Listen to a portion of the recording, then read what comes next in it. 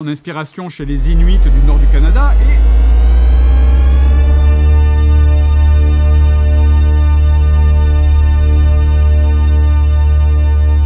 Je suis blanc.